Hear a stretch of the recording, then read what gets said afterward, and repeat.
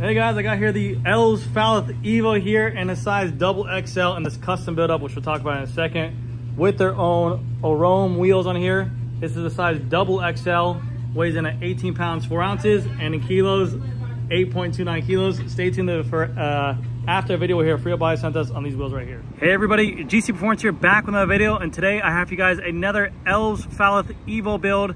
This is a custom build up for the Elves rep over here in North America. Uh, we actually got in contact beforehand. That's how I was able to get my bike. But uh, he was so flattered by some of my work, so he sent over his bike for me to build up. And we were able to work out a deal with some components over here, which is a very interesting build that we have here, as you guys can see. It's a vegan cyclist inspired build with a one by and the X01 rear derailleur and the 1052 tooth cassette. He's over there in California, so this bike is meant for all hell, which we'll talk about. But another cool thing about this bike is that this is actually the double XL size. This was a size I was considering getting being that I'm six foot, and this is what they call a 56, which will also get another crotch look about uh, my standover height here because this bike is massive. I want to say that I think I made the right choice going with the 54, the extra large for my height for six foot. Um, this bike almost looks like a, like a like a USA extra large size bike. Um, also, they have on here the Orome Valor wheels. These are Elves' own personal wheels that they make. And I'm very, very impressed with these wheels. It's been a long time since I got, no lie, I get a ton of wheel reviews that come out to my store all the time, or, or for me, for you too.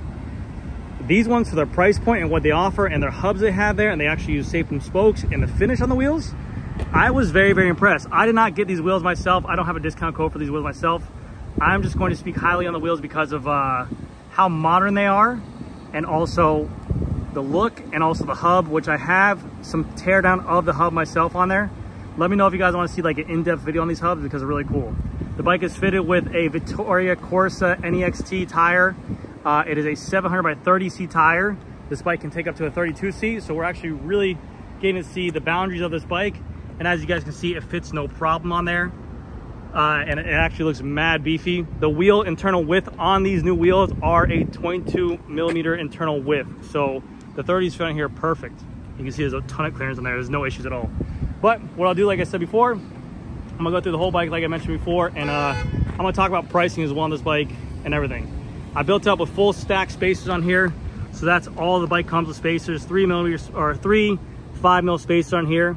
Uh, and if you do run this flush, this stem looks very flush in here. It looks very, very aesthetic looking, but like me, uh, we want to be a little more comfortable on the bike. And um, I finished my bike today. I'm thrilled with how the bike turned out, so I like it a lot. But he had a custom color done in here elves as well. They also offer custom coloring paint jobs to any one of their frames. It's only a $50 upcharge for whenever you do the bike and uh, they have different schemes and schematics you can do for different colors and sizes uh, thank you. Um, but yes you can actually get it to a point where you can actually have a custom color scheme on there as well for just a $50 upcharge and they have templates which you can do. So this is kind of like an ice blue to purple with the white summit white color on there. He said he really liked the cervelo s5 paint job so i think it looks really really nice Frame is 1300 bucks. The wheels are usually a $1,000, but these wheels are $800 for the set. Unbelievably cheap for what you get there. The bike comes with a bottom bracket, which is a press fit, a PF30. The handlebar, if you buy the handlebar with the frame at the same time, I believe these are only $110. And this is again their own company, Oram, which is a one by. This is a 110 stem with a 42 centimeter uh, width as well. So not a bad price point there. You're looking around 2300 bucks frame seat post wheels handlebar stem bottom bracket headset on there. Then you just have to get the group set on there. So not a bad starting point for a pretty planted bike. Um, and i'm gonna have a follow video on my bike because there were a couple things during my build that i had to fix. No major issues that any shop couldn't figure out but we did have to fix it. So handlebar or stem and handlebar width on here like i said is a 110 and 42 centimeter. It's their orome handlebar. Nice girthy stem the stem feels planted. The bars feel nice. They even have this little kind of ergonomic cutout right here that makes it a little bit smoother when the drops. They flare out wide here and go nice and smooth here. Very similar to a Shimano Pro Vibe handlebar. Uh, nice also fitting on the turn as well. Not a big reach, which I like. They do have a little bit of flare if you look at them. At the bar ends, they do have a little bit of flare out. One thing I do not like about these bars though, is that the finishing on the bar hole where the bar end goes into, um, it's very thick. It was actually really hard to get that bar plug in there with some tape on there. So I actually had to cut down and trim this up to make it look a little bit better. but it was very difficult to get in there. I did not like that. It was smooth. The, finishing was done really nice. It was rounded really well, but just very tight tolerances in there. Uh, also inside of the bag, you do get a out front mount for a Garmin. So you can go ahead and put that on there as well. I put that on my bike. As you can see, I made a video as well. I wish they kind of lighten up these stems or space right here.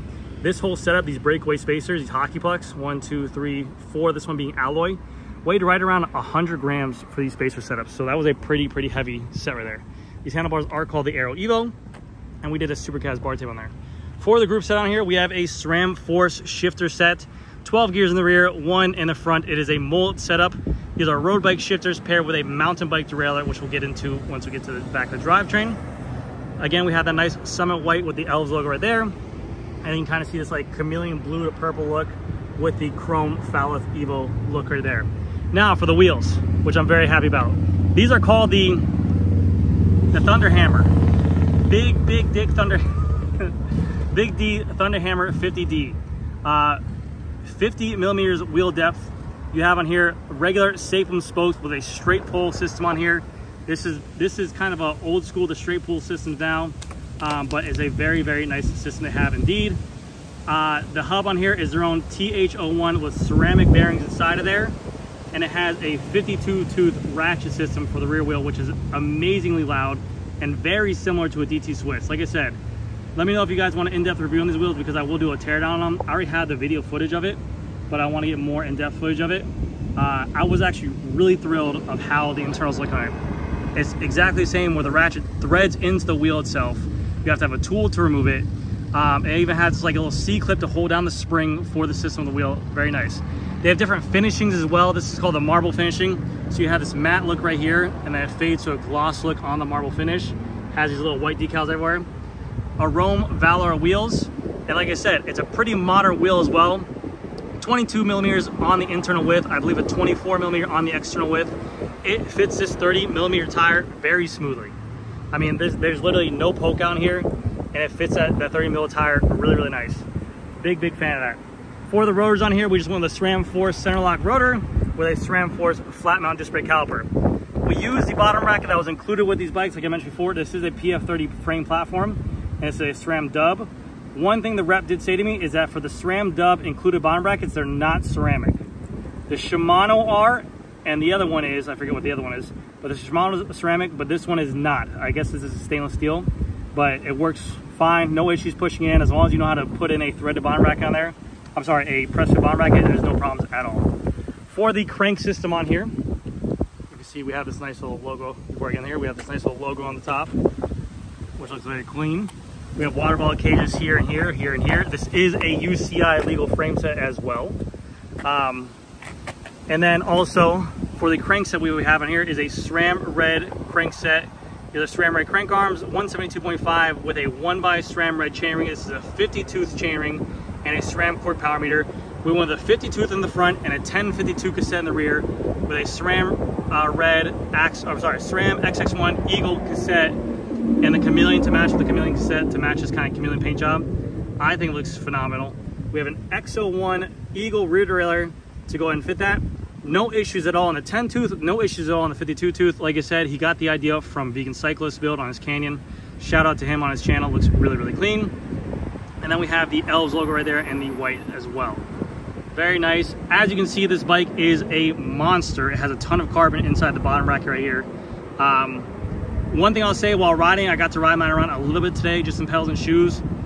It's a very, very, very fast bike for straight lines. Super quick, it holds its line very well. One thing that we were saying is that when you get up to sprint on it, it feels like it always wants to go back to that straight. So I'm not a crit racer. I never done, uh, I, I, don't do any crit races like that. I don't know how it'd be in the cornering, but this bike definitely holds a straight line very nice. For the rear wheel, it's the exact same as the front. It's a 50, uh, 50 millimeter depth rear wheel and the Thunder Hammer right there. Like I said, they even have the weight limit right there, 220 pounds, 100 kilos. And then they have the max pressure, 120 PSI. These are a hooked rim as well and they have the exposed spoke holes in there just for rim tape. So they are tubeless ready. You can make them tubeless ready if you want. You just need a compatible tire. And these are the Vittoria Corsa NEXT 700 by 30 C tires. And I'll give you a little freehub sound test right now. Super loud. I, I, I thoroughly enjoy them. I like them a lot. We can see the wheel clearance. There's no issues at all for this, this 730. You can fit up to a 32C on here, like I mentioned before, which is really nice. Another 160 millimeter rotor in the rear, and then also the SRAM Force flat mount disc brake caliper. You do have two through axles on here, and the thread pitch for these through axles is different from a, a specialized tarmac. These are at 1.5 compared to the 1.25 as well. Their own proprietary seat post. This thing is almost like a rectangle. I mentioned before in my unboxing. This thing is like a lethal weapon. I wish they made this little harness down here, this, this hardware a little bit lighter. Uh, but they do, the good thing is they do send out two different hardware sets. One for a regular chromoly railing, or I have my bike a Romin Evo S-Work saddle with carbon rails, and they do have that fixture as well that fits on no problem at all. You do have on here a little two and a half millimeter cover bolt right here, and there's a four millimeter bolt underneath the seat post to go ahead and tighten it up. As you can see in both my videos on my bike and this bike right here, I did not include the rubber boot on here. I think it's overkill, I think it's ugly, and I don't think it looks aesthetically nice. The bike does not need it myself. If you already have that cover plate on there, you'll be fine, honestly. And it takes away a lot of aesthetics. It's a rubber boot that's literally sits up to about here. It makes the seat post really, really low. Uh, and then it's a massive tongue right here on the front. I wish I made it cleaner, but it is what it is. But anyways, guys, that's gonna do it for this build thoroughly enjoy this build. I think it's one of the coolest ones. Obviously, I don't get to do a lot of these build setups because we're flat here in Florida, but this makes a lot of sense if you want to go with a one by setup in a 1052 situation where you don't want to have to worry about front derailleur. Absolute gorgeous bike, absolute gorgeous paint, and I really do like these wheels a lot. They are a beautiful bike. So, uh, thank you guys again so much for watching. Oh, let me get my crotch test real quick. This is a double XL. It's what they call size 56, which I'm gonna call it like they see it they need to change this sizing. The double XL needs to be a 58, the XL needs to be a 56, and the large needs to be a 54. Also as well, also as well, um, the frames do have a five-year warranty on the frames and a two-year warranty on the wheels, which I think is nice. Now for the crotch test. Swing my leg thing. This is this is a big bike. This is a 58 to me. I mean, this thing is this thing is this thing is tucked, okay? This I used to ride a I used to ride a 58 when I first started riding bikes. First, first started riding bikes 12, 15 years ago, whatever the hell it was. Um, but it's a massive bike. I definitely recommend that as a 58 size. So he is like about 6'2". This should work fine for him. Thank you guys again so much for watching. I'll see you guys next video. All right, here comes a buy sound test on these uh, Oram 50D Thunder hammers. There we go. 52 tooth ratchet.